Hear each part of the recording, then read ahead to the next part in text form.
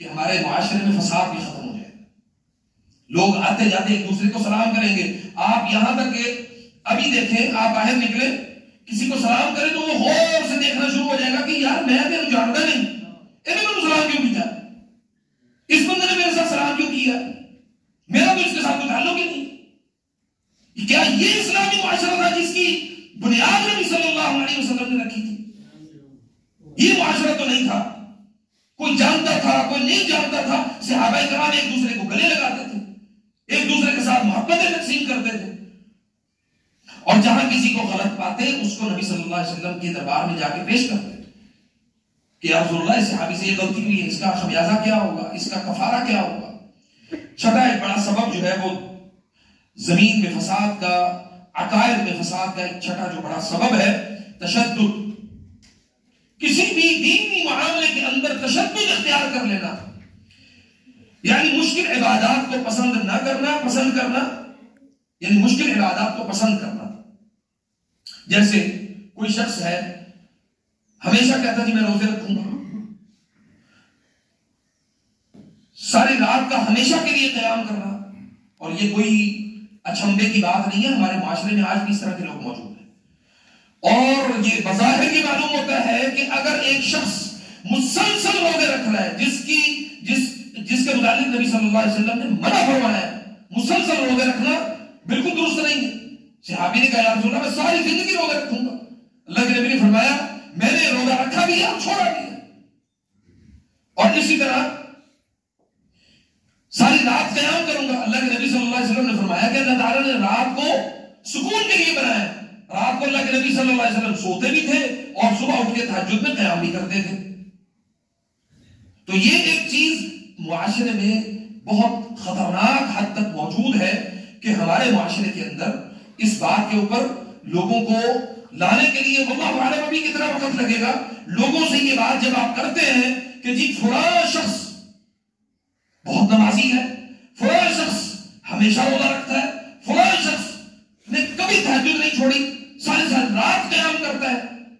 तो दूसरा जो शख्स है, जो इस इन तमाम अमाल में कमज़ोर होगा, वो ये यकीन नहीं समझेगा कि यार वो पता नहीं कितना अल्लाह का वली है और मेरे अंदर इतनी ज़्यादा कमज़ोरी है। याद रखें इस बात को कि हर मुसलमान जिसने ला कह दिया है और अल्लाह ताला पर, यौम आखिरत पर, नबी सल्लल्लाहु अलैहि वसल्लम की नबूवत पर उसका ईमान है, अल्लाह के यहाँ वो सबसे ज़्यादा मुआजिज है।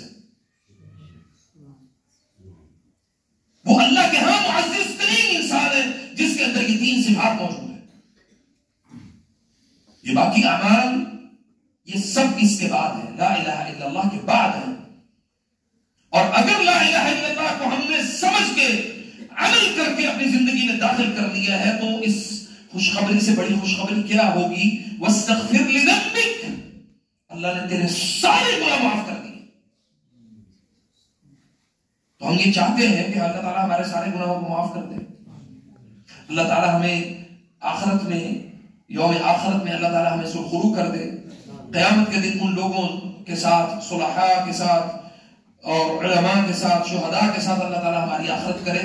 इससे बड़ी हमारे लिए खुशखबरी क्या होगी? लेकिन उसके लिए बुनियाद उसकी ज़रूरत है, बुनियादी ज़रूरत है, ला इलाहा इल्लल्लाह को समझ लेना। को पढ़ लेना काफ़ी नहीं है। मैं हमेशा हमेशा जहाँ भी मैंने बात की, मैंने ये कहा कि पहले ला इलाहा को ठीक करो। नमाज़ बाद में ठीक होगी रहेंगी आपकी।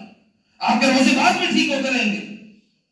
आपके मामला सारे बाद में ठीक होंगे। पहले ला इलाहा को ठीक करो, उसके बाद सारे अमाल को करने में आपको मज़ा भी आएगा। कितने फ़ीसद लोग हाथ खड़ा करके ये कह सकते हैं कि मैं नमाज़ पढ़ता हूँ, मुझे बड़ा सुकून मिलता है।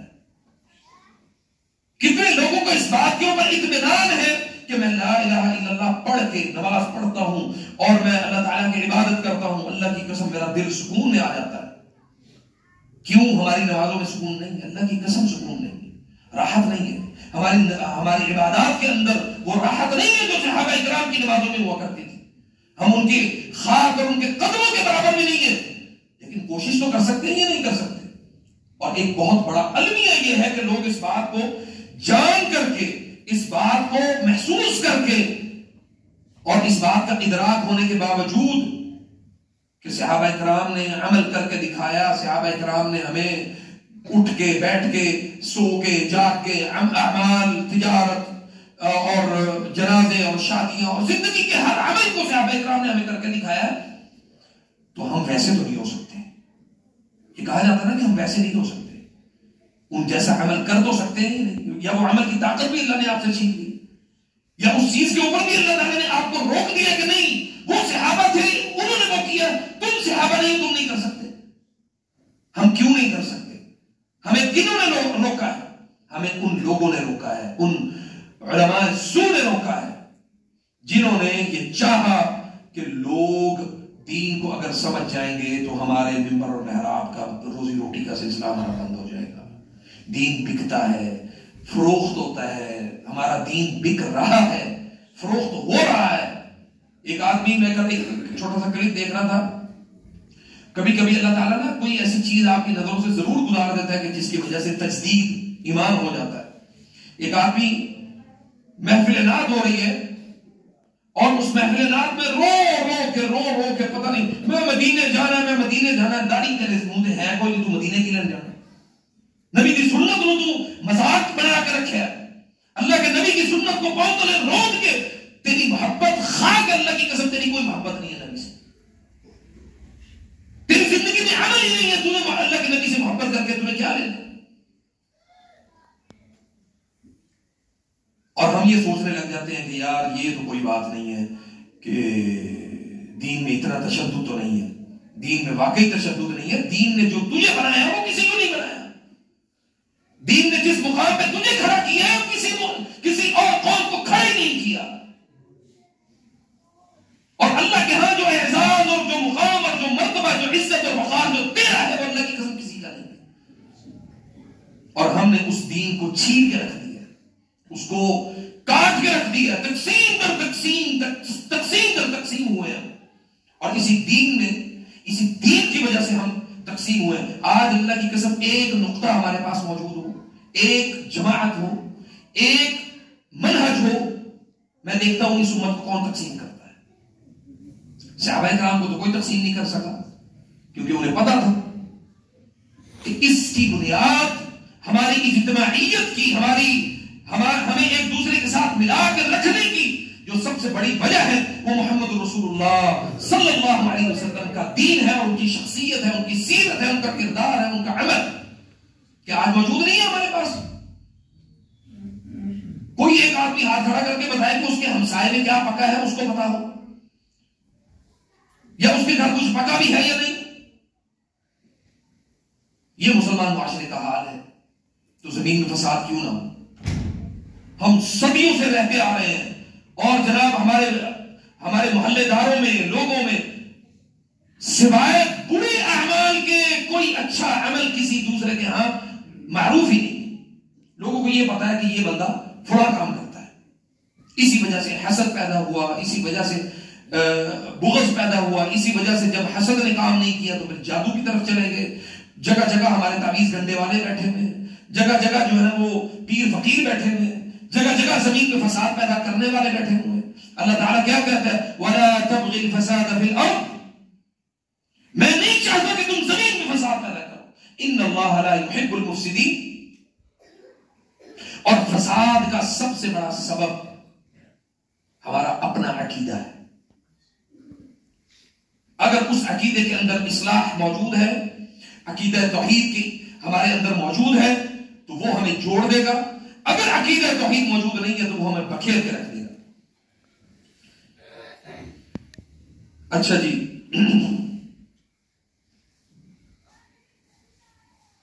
इसके बाद आखिरी जो सबब है वो मैं बयान करके अपनी बात को खत्म करता हूँ इंशाल्लाह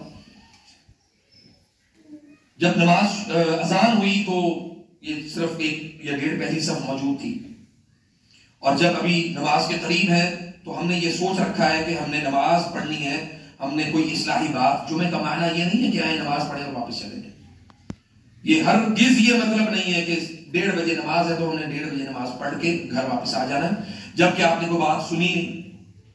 जबकि आपने किसी चीज़ जब सुना ही नहीं तो अमल खाक होगा। जब हमने उस बात को तस्लीम ही नहीं किया, उस बात को महसूस ही नहीं किया तो हम अमल क्या करेंगे बाहर जाके? लोगों को क्या बताएँगे कि आज मैंने जुमे में ये सुना है? लोगों को क्या बताएँगे कि आज जो है ना वो खतीब ने ये कुछ कहा है? उसके ऊपर आप गुफ्तगु ही नहीं करेंगे जबकि आपको इलम ही नहीं होगा। तो ये जुमा जो है, ये इलम का एक बहुत बड़ा सबब है, बहुत बड़ा ज़रिया है। इस इलम को हासिल करने के लिए आपके पास जो वक़्त यहाँ पे मुतन किया गया है, इस मस्जिद की इंतजामिया ने, उसके मुताबिक आपको यहाँ पे मौजूद होना चाहिए। ताकि आप वक़्त से पहले वल्लाजीम भी हमारे माशरे की मैं अपने पाकिस्तान की बात कर रहा हूँ। अरब में आप में से कोई भी अगर गया हुआ है तो आपने देखा होगा कि मस्जिद में जुमा से पहले मस्जिद फुल होती है। खुतबा से पहले। यहाँ पर खुतबा खत्म होने के बाद मस्जिद फुल होती है। खुला तजाद नहीं है हमारे माशरे का। और इतना बड़ा इख्तलाफ है मेरा इस बात के ऊपर कि हम मसाजिद को, मसाजिद से तो हम भागते हैं। हमारा दिल ही नहीं लगता मसाजिद के अंदर। इस्लाम हमारे माशरे में खाब हो हम लोगों को क्या बताएँगे? क्या मुसलमान है? मेरा अपना अमल ऐसा नहीं है तो मैं लोगों को क्या बताऊँ?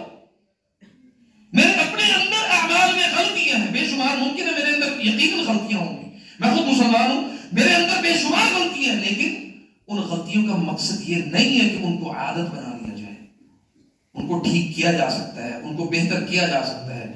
उसके अंदर अपनी, मेरे साथ आज वादा करें इंशाल्लाह, सबसे पहले मैं वादा करता हूँ इंशाल्लाह कि जुमा शुरू होने से पहले मस्जिद में आया करूँ। हाथ खड़ा करके वादा करेंगे इंशाल्लाह? जुमा शुरू होने से पहले मस्जिद में आएँगे? इंशाल्लाह। और अपने बच्चों को साथ लेके आए, अपनी औलादों को साथ लेके आए। नबी सल्लल्लाहु अलैहि वसल्लम ने फरमाया, कुल्लुकुम राइन व कुल्लुकुम मसऊलुन अन रईयतिही तुम में से हर एक रियाया है, हर एक मसूल है। हम अपनी औलादों को अपनी औलादों के हम मसूल हैं। अल्लाह के हम मैंने औलादों का जवाब देना है। आपने अपनी औलादों का जवाब देना है। अल्लाह को नहीं बताना कि, यार मैंने इनको दीन सिखाया था नहीं सिखाया मेरे वाले साहब हमेशा ये कहा करते हैं कि, बेटा, हम, मैंने आपको दुनिया भी सिखा दी है और दीन भी सिखा दिया है। और अब इसके बाद मैं सुकून से अल्लाह के पास चला भी जाऊँ तो मुझे अब फ़िक्र नहीं है कि मेरी औलाद बेदीन हो के मरेगी। ये कभी नहीं कहा कि, पुत्र रिज़ल्ट कितना कमाया? माल कितना कमाया? क्या क्या डिग्रियाँ हासिल की हैं? मैं आपको कसम उठा के ये कह सकता हूँ कि कभी मेरे वाले साहब ने हमसे रिज़ल्ट के मुताबिक पूछा ही नहीं है कि क्या कमाइए कर रहे हो, क्या काम कर रहे हो। और मैं ये भी बता दूँ, मैं कोई खतीब या कोई आलिम या कोई मुदब्बिर फकीर नहीं हूँ। मैं अल्लाह का अदना सा, सादा सा बंदा हूँ कि आप तक अमली तौर पे जो हमने मुआशरे में देखा है, सत्रह साल से मैं जो लोगों के अकायद में जो फसाद के असबाब हैं, जो मैं नोट करता हूँ, वो मैंने आपके सामने रखे हमारे माशरे में लोगों के अंदर बेयकीनी की कैफियत बहुत ज़्यादा है। उमें ये तवक्कल अल्लाह कहाँ है, कौन है तवक्कल अल्लाह पे करने वाला? हाँ कारोबार में और लेन देन में, सूदी मामलात में, आपस में एक दूसरे के साथ लड़ने और झगड़ने में मिसाल के तौर पे अगर किसी ने कोई किसी से दस रुपए लेने हैं, या बीस, पचास, सौ रुपए लेना है, अल्लाह की कसम खा के कहते हैं ज़ोर की नमाज़ गुजर जाए, फजर की गुजर जाए, असर की गुजर जाए, उसको कोई परवाह नहीं। उसके दरवाजे में बैठा रहेगा, भाई, मेरा माल निकाल तो आपने अल्लाह को राज़ी नहीं किया, अल्लाह आपको कैसे राज़ी करे? आपने अल्लाह को वक्त नहीं दिया, अल्लाह आपको कैसे वक्त दे? अपनी ज़िंदगी में से मैंने कितना वक्त अल्लाह को दिया है, ये गौर करने की बात है। अपनी ज़िंदगी में से मैंने अल्लाह के लिए कितना किया है यह गौर करने की बात है। वो आप दस मिनट में, बीस मिनट में, पचास मिनट में, एक घंटा में अपनी इस्तात के मुताबिक अल्लाह के लिए अपने आप को वकफ ज़रूर करें। एक आयत तर्जुमे की पढ़ सकते हैं या नहीं? एक आयत, सिर्फ़ एक आयत। कुरान करीम की एक आयत और एक हदीस पढ़ के अपने किसी दोस्त को सुना दें। ये मैं आपको एक ऐसा नुकता बता रहा हूँ कि आप ज़िंदगी में कभी भी जो आपने सुना दी अपनी ज़ुबान से, आपको कभी भी भूलेगी नहीं। और हमारे लिए ये उन लोगों ने मुश्किल पैदा कर दी हैं, जो कहते हैं कि दीन मेरा है, तेरा कुछ मैं बताऊँगा कि दीन क्या है। आप भी बता सकते हैं। आप भी समझ सकते हैं। आपको भी अल्लाह ने उतना ही फहम और अकल और बसीरत दी है, जिसकी बुनियाद पे आप ये बात, ये काम कर सकते हैं। या नहीं कर सकते। कर सकते हैं, बिल्कुल। और अल्लाह के फजल से हमें, देखें ये कोई मोटिवेशनल स्पीकर के तौर पे बात नहीं कर रहा मैं। ये अमली तौर पे जो हमें, हमारे माशरे में ज़रूरत है, मैं उसकी बात कर रहा हूँ। अरब के अंदर, मैंने अरब के तकरीबन गल्फ के सारे ममालिक को विज़िट किया। और हमेशा मैं वहाँ पे एक चीज़ जो नोट करता हूँ, जब आप सफ़र करते हैं दुनिया में, लोगों के साथ मुआमला करते हैं, आप चीज़ों को देखते हैं तो सबसे अहम चीज़ वो अपनी औलादों के ऊपर जो फोकस करते हैं, दीन को लेकर। अपनी औलादों को दीन सिखाने के मुताबिक जुमे वाले दिन सबसे पहले उठना, अपने बच्चों को रेडी करना, माँ के साथ मिलके, अपनी बीवी के साथ मिलके, अपने बच्चों को तैयार करना कि जुमे से पहले पहले हमें पहुँचना है। यहाँ पे बारह चालीस पे तकरीबन जुमा जो है वो शुरू होता है। तो साढ़े ग्यारह बजे अरब में मैंने ये देखा है, अरब में साढ़े ग्यारह बजे लोग मसाजिद के अंदर मौजूद होते बैठ के कुरान पढ़ रहे हैं सूरत कहफ की तिलावत कर रहे हैं, खजूरें और कहवा और इस तरह की चीज़ें लेके साथ जाते हैं, बच्चों को तैयार करते हैं कि भाई आपने ये जाके वहाँ पे मस्जिद के अंदर बैठे लोगों को कहवा पिलाना है, खजूरें खिलानी है, लोगों के साथ इस तरह से इखलाकी रवैया इख्तियार करना है, आपको एहसास होता है इस बात का। लेकिन हमारे यहाँ तो सुबहान अल्लाह जो मसाजिद में टूटी लगी हुई है, वो भी खोल के नहीं जाते जूतियाँ बड़ी नहीं है हमें हमें उसके ऊपर एतमाद नहीं होता कि कोई जूती ना चौके लाए। इस डर से हम मसाजिद में नहीं आते। मेरे भाइयों, ये अल्लाह ताला ने इसलिए हमें मुसलमान नहीं बनाया कि हम बद अखलाकी वाला रवैया इख्तियार करके अपने मुआशरे में एक मसाजिद को एक गलत अंदाज में जो है वो पेश करें, बल्कि ये अल्लाह ताला के घर है। इन घरों के हिफाजत करना, इन घरों के अंदर के मामलात को देखना हर एक शख्स की इनफरादी ज़रूरत है। इज्तिमाई नहीं। हम इज्तिमाइयत की बात ही नहीं करते। मन बना मस्जिद जिसने अल्लाह के लिए कोई घर बनाया एक ईंट लगवा दे एक छोटा सा काम करवा दे छोटे से छोटा करवा दे मस्जिद को आने वाले रास्ते को जो है ना वो साफ़ सुथरा करवा दे जैसे ये रास्ता बाहर से जब आते हैं इस रास्ते को साफ़ करवा दें कोई एक काम कर दे अल्लाह के लिए किसी को दिखावे के लिए नहीं आपकी ज़िंदगी में देखे कैसे सुकून आना शुरू कितने अफराद हैं जो बेसुकूनी की कैफियत में हैं, सुबह से लेकर शाम तक परेशान हैं। रुख मोड़ दें अपनी ज़िंदगी का अल्लाह की तरफ़। थोड़ा सा करके देखें, मैं आपको गारंटी बल्कि जमानत देता हूँ अल्लाह की कसम, आपकी ज़िंदगी में राहत आ जाएगी। किसी एक के लिए सुकून का सबब बन जाए। किसी एक के लिए, आप ना ठेका उठाए सारे माशरे। का किसी एक के लिए सुकून का सबब बन जाए।